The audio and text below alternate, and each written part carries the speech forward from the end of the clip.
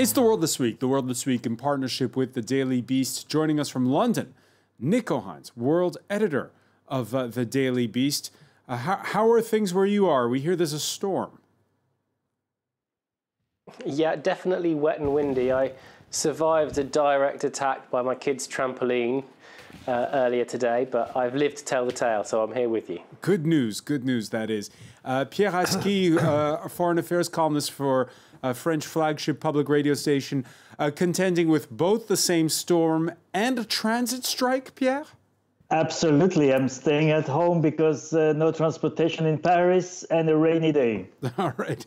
Well, Catherine Field uh, ventured out and has made it to our studios. We thank her, Europe uh, correspondent for New Zealand Media and Entertainment. How are you? I'm good, thanks. It, it was very windy outside and there weren't many trains. All right. It, has it been stormy in Brussels? Uh, uh, Mark Burley, correspondent for the French news agency AFP, is with us.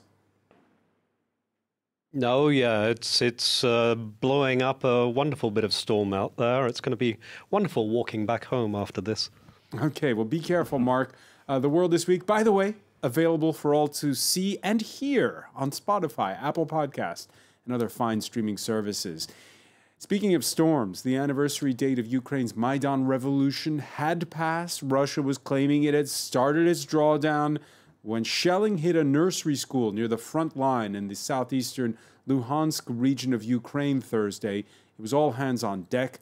Uh, that's been followed by a second day of shelling, with both sides accusing the other of provocation, and the leaders of the separatist regions of Luhansk and Donetsk ordering the evacuation of civilians.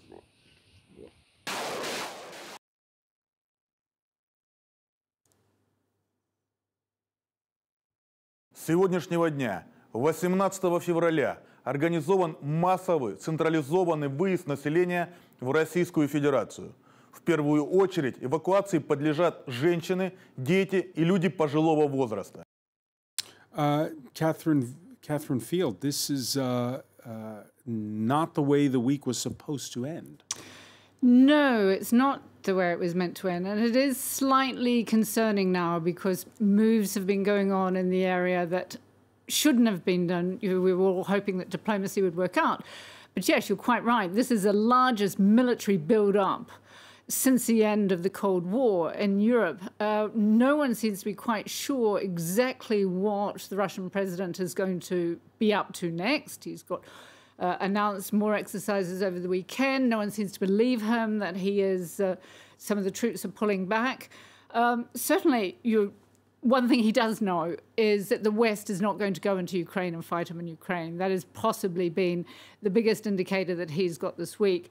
That may not stop him from, I don't know, either some sort of military operation or continue these nasty little uh, hybrid attacks that they've been doing all week, whether it be uh, at a small attack on a kindergarten, these flag inches, uh, or cyber attacks. But certainly we are now into a period of time where we really don't know what Vladimir Putin's going to do, and we don't know his state of mind. This is a man who's been holed up in the Kremlin because of COVID restrictions for the last two years.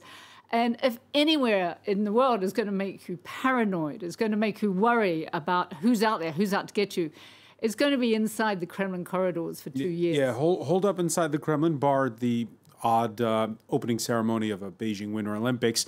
Uh, the flare ups prompting accusations in diplomatic circles, the finger pointing going all the way to New York to the United Nations Security Council.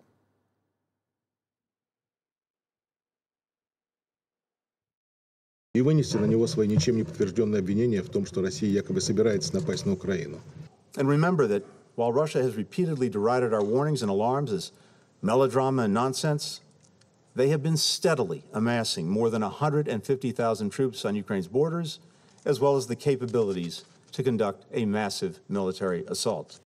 And meanwhile, as Catherine Field was saying, Russia's president insists he's not about to go to war, but as Vladimir Putin this Friday welcomed Alexander Lukashenko to the Kremlin, the president of neighboring Belarus, he announced he'd be personally overseeing joint maneuvers Saturday, uh, joint maneuvers taking place just north of the Ukrainian border.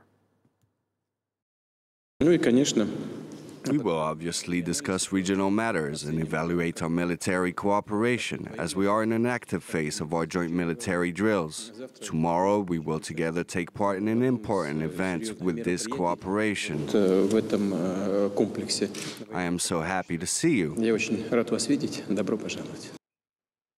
Uh, Nico Hines, uh, between the time you woke up this morning and now, how, how has your mood changed when you look at events on the ground? Well, things seem to be heading in one direction, which is an invasion of Ukraine imminent. Of course, this all could be fakery. It could he could be tricking us again, Putin. But uh, if you if you put together the clues that we've been able to gather from the satellite imagery and from the reality on the ground, it is seemingly leading inexorably towards men going in. The I think today's evacuation of the pro-Russia rebel-held regions of Ukraine is by far the clearest indication yet. I don't think, I mean, put nothing past the Kremlin, but I don't think that they would bother to evacuate thousands of people into a refugee camp, which they haven't set up yet, apparently, um, somewhere in Rostov. Um, if there wasn't a very good reason for them to be getting civilians out of the way. And the most obvious reason, because Putin does really know that Ukraine isn't about to invade that region. The most obvious reason is that he thinks there's about to be a huge explosion of violence there. So, has uh, Vladimir Putin talked himself into a corner, Pierre Haski, where some kind of incursion is the only option? Well, we still don't know. Uh, as Catherine was saying, you know, that's the, the biggest mystery of it all. Uh, things are, are moving into one direction. Uh, indeed, the events uh, right as we are speaking in Donbass, in eastern Ukraine, are very worrying and, and bear all the indications of an imminent war. But at the same time, Putin could really be playing with our nerves, the Ukrainians' nerves uh, in the first uh, uh, instance, but also the, the whole Western world's uh, nerves. So we still don't know whether his long-term objectives, his short-term objectives, is he going to just go to war to control Donbass, or is he going to go all the way to Kiev? He has 190,000 troops, according to the Americans, uh, and that could allow him to play any scenario that he wants. So it's really a, a, um, one of the most incredible case studies uh, for wars in, in, in modern times. It's incredible because uh, we're coming off the tail end, Mark Burley, of a, of a summit in Brussels. And uh, when it began, we heard uh, the uh, EU's uh, foreign policy chief tell, in fact, Pierre Haski's radio station, oh, we think that the escalation capped when Emmanuel Macron went to Moscow. That seems like a long time ago. Well, I think I think we're yeah. I mean, we're we're seeing uh, certainly the the Americans are pushing very, very much. Uh, if we're to believe them, they're pushing out hard intel into briefings and uh, making it very much look like the scene is set for an imminent invasion. Uh, I think on the, the, European side, because they're not always privy to the American intelligence, and Amer American intelligence has been faulty in the past, it's perhaps uh, taking just a little bit of distance, wanting to just um, add just a dash of skepticism, a bit of distance, a bit of wariness in there, because you know the Americans have their own game to play in this conflict, as the Russians do. That said, you know, as, as has been pointed out uh, just a few seconds ago, and with all the news we're seeing, uh, we, we seem to be in this tunnel heading towards certainly something happening. You don't evacuate these rebel-held areas in the east of Ukraine without you know, a, another development happening behind that. And of course, you know, as as uh, as we've been reporting in uh, just over an hour's time, uh, President Biden will be speaking with various Western leaders, most, you know, a lot of European leaders, Macron, uh, the leaders of, uh, of Italy, the head of NATO, uh, the head of Canada as well. Uh, there's a, a, video conversation happening in an hour. In an hour's time, after which uh, President Biden will be making a public address. So we'll be learning a bit more, but certainly the information we're getting, the leaks we're getting, and the, the actual facts on the ground we're getting seem to indicate this is a lot more serious than perhaps uh, a soundbite that happened yesterday. Nico Hines, it's got to be serious if the UK, as announced by Home Secretary Priti Patel on Thursday, is scrapping golden visas. You pay money and you get a fast track for a visa. Some 2,500 Russians have uh, taken part in this scheme. Yeah, it's been a real stain on London, in fact. Y- you know, we have this government that's obsessed with immigration targets and only letting the right sorts of people in and having to have special quotas and all of this uh, nonsense that won them the Brexit referendum. And at the same time, they've been happily accepting if you if you willing to bring certain huge sums of money into the country, then oh yeah, sure, you can have a visa, which kind of makes it sound like Cyprus or some kind of dodgy offshore money laundering um, institution, which in fact is what London has become. You know, the city is absolutely full of multi-million pound properties owned by not just Russians, but owned by mysteriously wealthy daughters of minor cabinet members from Putin's entourage, or um, the nephews or friends of people who are well placed in the Kremlin, and it's all very, very suspect. And there's no doubt that that channel of money, some of which finds its way into the coffers of the Conservative Party directly through political donations, has impacted Britain's ability and desire to challenge the Russian regime. Eventually, finally, that does seem to be changing. Uh, yeah, and uh, Pierre Haski, uh, when you live in glass houses, you shouldn't throw stones. There are oligarchs, plenty of them, who have uh, nice homes on the French Riviera.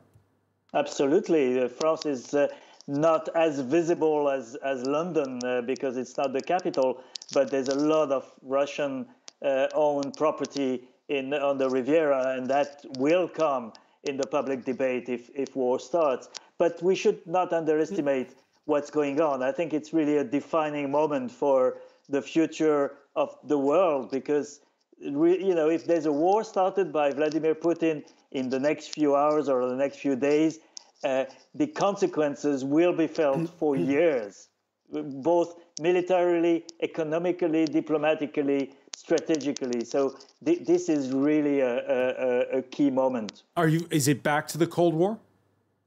we are already in a Cold War, and and uh, uh, you know if if uh, tomorrow there's this war starting in Ukraine, we're going to have a, a, separated world where Putin will have no other choice than getting even closer to uh, China and Xi Jinping that he has done, and, and the West uh, will have no other means to protest than impose uh, sanctions on, on Russia. That means cutting a lot of the links that have been established between uh, uh, Europe and, and Russia. So we're going to have a, a, a two world, a two, two system uh, world arising.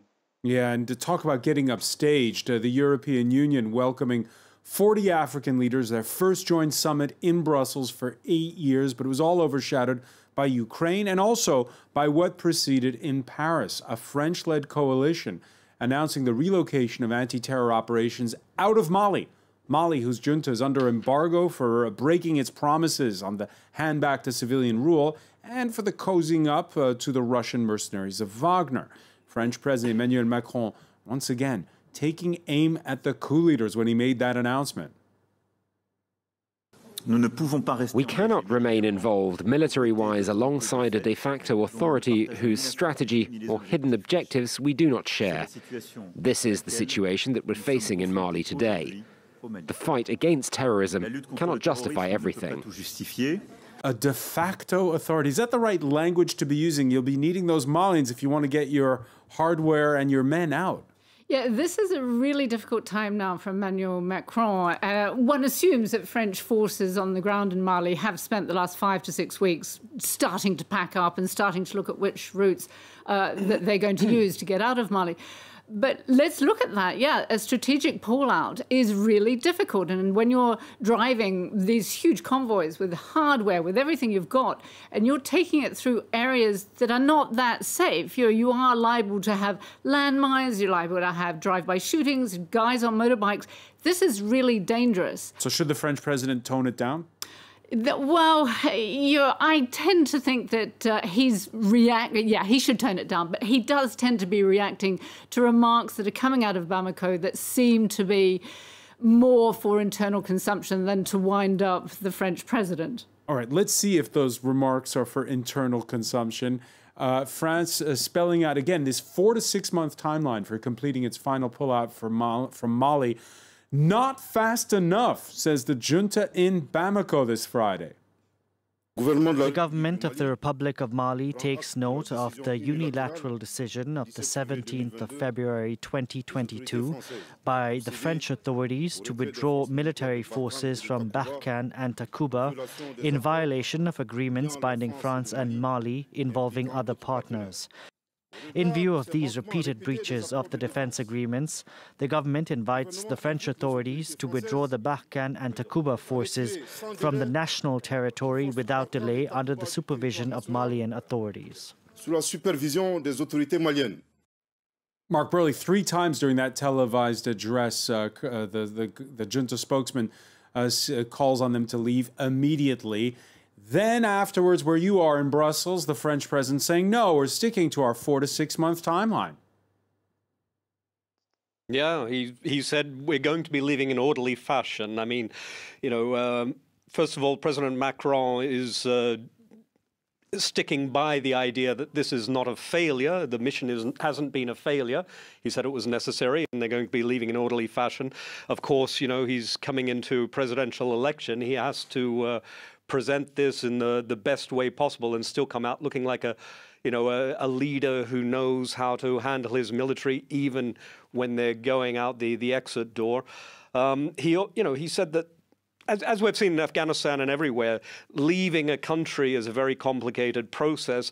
There is force protection that is involved in getting people, and there are there are other forces there. There's a UN stabilization mission there, which is you know also protected by the French and by the uh, the Takuba, the the task force, the um, which pulls in European partners as well.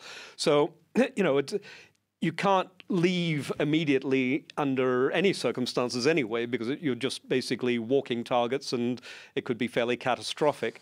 Uh, quite often, we often see uh, military surges going in to help. Uh, the soldiers to leave. Anyway, so this is the line that Macron is taking that he's going to uh, do it all orderly, all step by step, and pretty much on his timeline, and not to be dictated to by the junta. Yeah, and we thought, Pierre Haski, that we'd hit a new low in the relations between uh, Paris and Bamako on Thursday. And then this announcement get out immediately.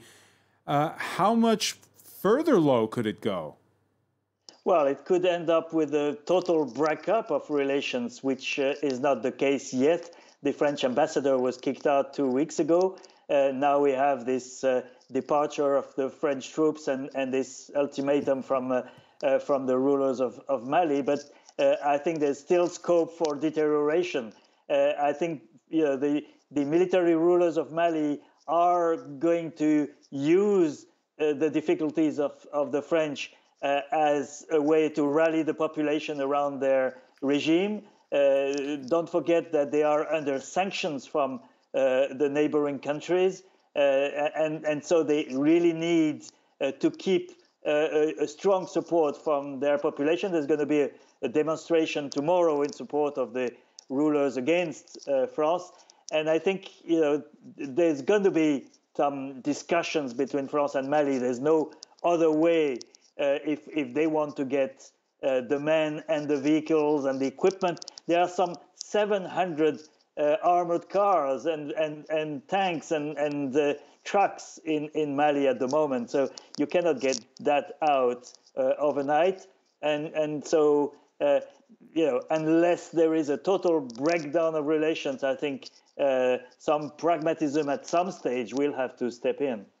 Some pragmatism uh, at some stage. Uh, the French president, as you say, uh, who's entering a, the home stretch of the campaign, eight weeks to go till the first round. The incumbent's, by the way, taking his time before officially throwing his hat in the ring.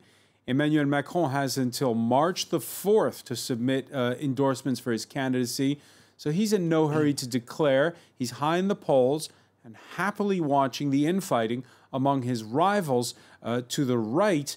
Uh, there was talk that conservative candidate Valérie Pécresse might give him a run for his money when she was nominated by her party, but she's yet to secure the endorsement of uh, the biggest name of Les Républicains, former President Nicolas Sarkozy.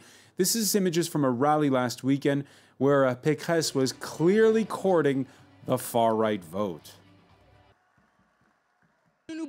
We will fight for secularism against those who want to impose Sharia above our laws.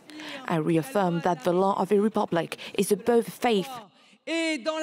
And we will include in the Constitution that no one can take advantage of his origin, his religion, to exempt himself from the common law. She's gone down in the polls, by the way, since that rally, Catherine Field. Yeah, and what is really concerning when you look at it is the one who's gone up is Eric Zemmour, who is even further to the right. So this is a real disaster for Les Républicains. I mean, the fact that they've now got two far right candidates uh, that are polling ahead of her. What happened to her? What happened to her? Or what's happening to her, I should say. She's not. You know, she's not a good orator. She really isn't good. She's a, she looks to me like a sort of standard French. Uh, private school, public school product. You know, she knows how to walk, she knows how to talk, but she hasn't got that personal touch that we expect from our politicians these days. She's very wooden on stage, and she doesn't quite connect with the voter. And the fact that she's seen so many votes going to the far right and she's leaping to get in on that conversation um, shows that you either she doesn't have what it needs as a politician to be able to play around and, and be slightly vague, but also that she thinks she's going to get votes from these far right. And I, I, personally think it's very dangerous. And it's very concerning when you look at France. Um, I was at the presidential elections 2017. Emmanuel Macron got over 60% in the second round against Marine Le Pen. Now, if it was a Marine Le Pen uh, Macron second round, he'd only get 55%. So, you know, there's a big shift to the right in the French electorate. And th- there's a lot to play for because now they have seen so many populists come to power. You know, you've got Orban, and you've got, to a greater lesser degree, Trump. So they can see there is a path to power uh, and it's worth going for it. All right, you mentioned uh, a, a, certain former U.S. president. Uh, Pécresse's loss, as uh, Catherine was saying, is Eric Zemmour's gain. The far right pundit getting several endorsements. He also got a Monday telephone call from none other than the Donald himself, the former U.S. President Donald Trump. Euh, he told me to stay true to myself, euh, that the media were going to label me as brutal, but that I have to stay true, and that the most important thing is that I keep my honesty. And I believe he is right. Uh, he has what I believe they call a Cheshire cat grin, uh, Nico Hines. Uh, uh when uh, t- describing that telephone call, your thoughts on Donald Trump and Eric Zemmour talking? Well, what a meeting of minds. I, I do think um, this is pretty big for Zemmour.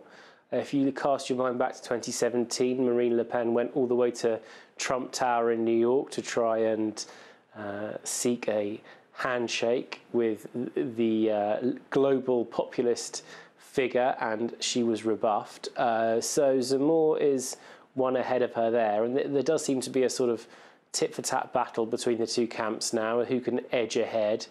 Uh, because I guess most people think that one of the two of them will come ahead of Pécresse and, and advance to the final round. So it is really crucial. Um, and I think Donald Trump's advice that Zemmour was repeating there is very good advice if you're going to be a populist leader.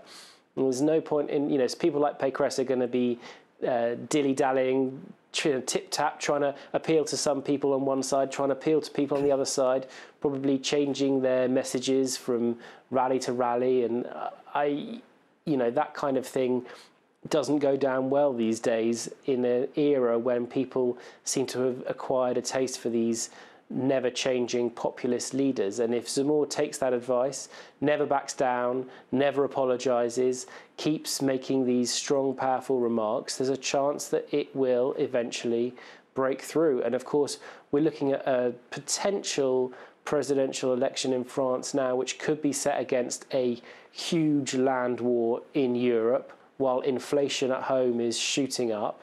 You know, it could be very, very rocky times. And it's those kind of rocky times when leaders that would, would otherwise be shrugged off by mainstream candidates, they could just have their moment to break through.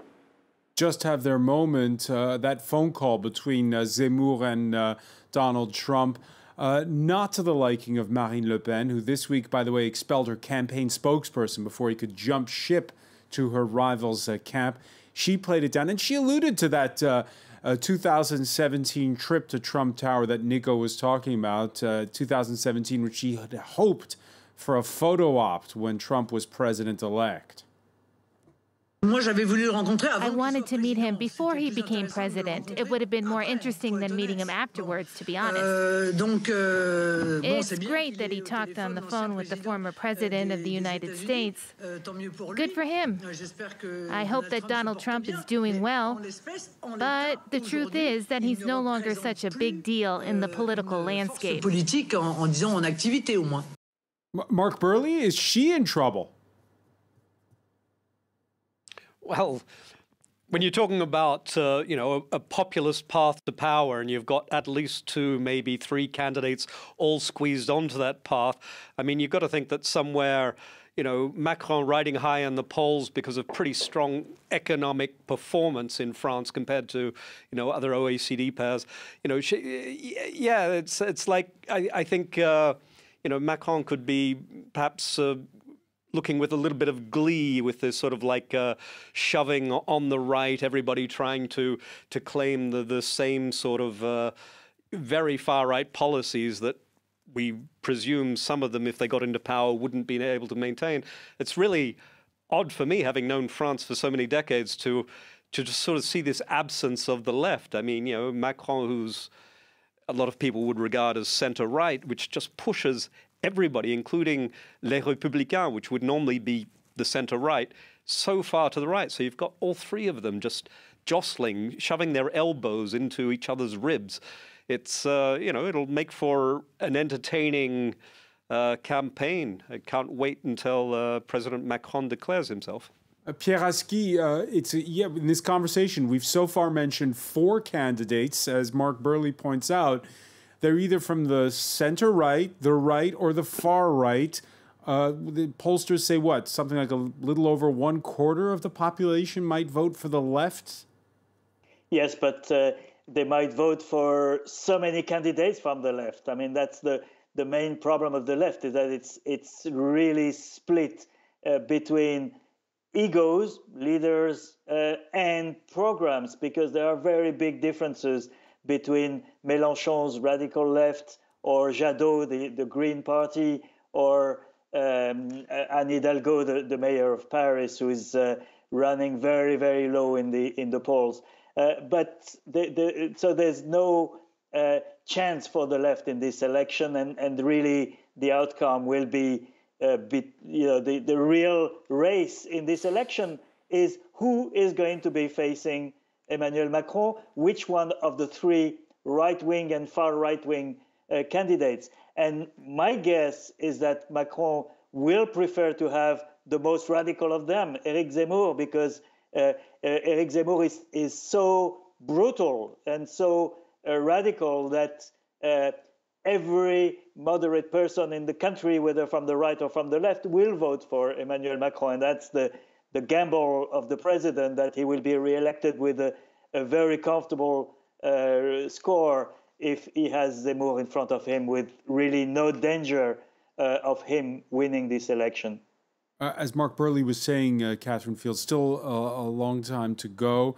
And you heard Nico Hines mention that once Macron does declare, we'll be talking about inflation, we might be talking about war in Ukraine we, we all thought Eric Zemmour was going to go away once that Valérie Pécresse declared. That was the that was sort of the what the chattering classes were claiming, hasn't happened. It hasn't happened. I think you could almost blame that on Emmanuel Macron, 2017. He destroyed the party system. He turned it into personalities because the parties all disappeared. He moved outside of the traditional French political parties. And uh, so, yeah, it, it hopefully will get interesting once, if Emmanuel Macron declares, uh, because Come yeah, on, it's not if. It's not if I know, I know. Come on, let's play the game. Uh, but uh, you know, yes, and you're looking at the statistics. A number of French people who just aren't interested in these elections at the moment, and the abstention rate might be high. And I think that's because they are worried about issues such as purchasing power, unemployment, climate change, all these things, and they're not being discussed. We're discussing, uh, or we're hearing being discussed, these conspiracy theories that Eric Zemmour and now Valérie Pécresse are coming out with and making that the running and the conversation. And yeah, we can bring on some proper debate about where this country is going. All right, so a new campaign uh, is anticipated. Uh, before we go, how fast a fortnight goes. They're already rehearsing for the closing ceremonies at the Beijing Olympics. Winter sports lovers have mostly gotten over the zero COVID policy that has kept fans away. Uh, so far, no surprise free Xinjiang t shirts during medal ceremonies. Instead, the controversies come from a familiar quarter the Olympics ending in tears for the undisputed star of the Games, 15 year old Kamila Valieva, who uh, earlier in the tournament became the first female figure skater to complete a quadruple jump at the Games. The Russian competed in the women's singles despite revelations of a positive dope test. She fell but that's not all. Uh, Valieva's coach, for all to hear, scolding her when she got off the ice. Eteri Tutberidze heard saying, Why did you let it go? Why did you stop fighting? The Russians uh, even called out by the president of the International Olympic Committee. When I afterwards saw how she was received by her closest entourage with uh, such a what appeared to be a, a tremendous coldness. You, you, you, uh, it was chilling. Nico Hines, your reaction to Thomas Bach's words? Well, I think it's kind of sickening to hear him say that, given that he's been covering up for the disappearance of Peng Shuai for so long. But um, if we leave that to one side um, and take at face value what he's saying, it is true that that video footage was really horrible. And you have to remember that this is a kid. You know, this is effectively state sponsored child abuse. Uh, she was pumped full of all sorts of drugs, some legal, some illegal. They seem to have found a cocktail of at least three uh, heart medications in her system, and she has no known heart issue. Uh, God knows what other kind of drugs are in there that were well, well enough masked not to have been picked up in the testing. Um, and not only is her body being abused in that way, she's being put through such brutal uh, uh, training methods that these um, young athletes are kind of abused and and forced into training so hard that almost all of them break down and kind of retire by the time they're still teenagers. Um, it, it's really quite awful. And I should think should figure skating really should figure skating be today, should sorry. figure skating be banned?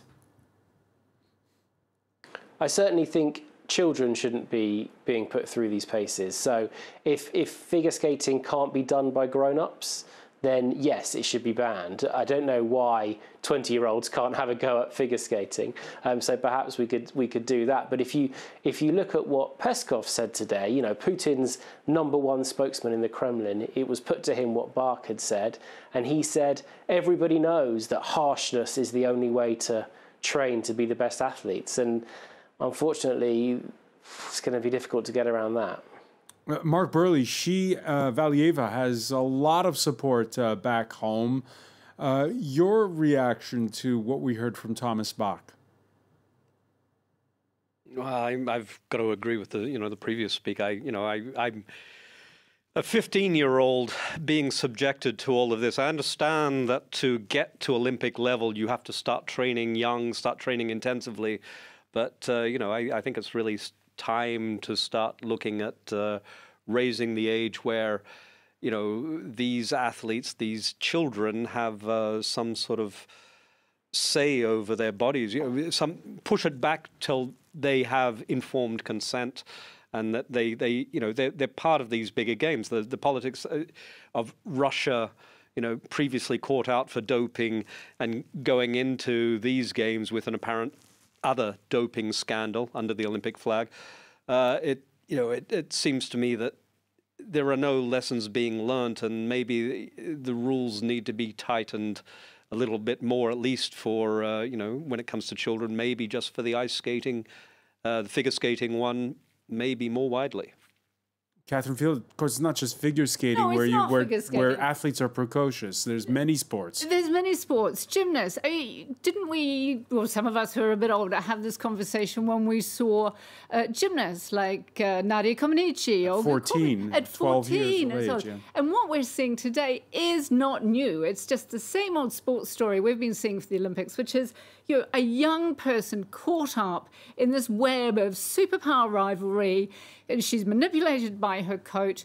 This is just it's it's nasty. It's horrible. We've done nothing about it. And for Thomas Bach to say that, why did he say that? They didn't say that at the last Olympics. Was it because cameras picked it up? Was it because all of this is on social media now? This is not new. What is new is we saw it. We saw what was said to her, and it's all out there for one to see. And I think, you know, at the end of this, we're going to be very pleased that these Olympics are over. It does seem to be a, whew, get them over and done with and finished. And, you know, what are we going to remember from these games? We're going to remember Chinese oppression. No one was able to say anything about Tibet or human rights.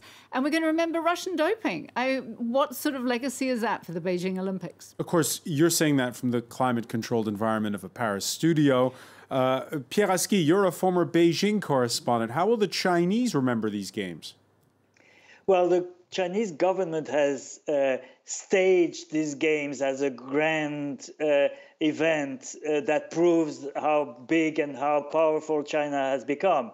So there's a big gap between what Catherine just said, which I agree completely, which is that these games are, are all to be forgotten very quickly, uh, and the fact that in China itself, uh, it has been a big event uh, in, in the government propaganda, which is able to stage uh, something quite extraordinary. But all this is really the ugly faces of the Olympic system, and and really Thomas Bach is the incarnation of that system. And uh, I agree with Nico that the, he, you know, we it's the same Thomas Bach who has covered up the the Peng uh, scandal uh, in in an incredible way, and he now comes on the moral side of uh, defending uh, sports. Uh, uh, so it, it, it is very very nasty, and and I agree with Catherine that the, the quickest it ends and the better it is.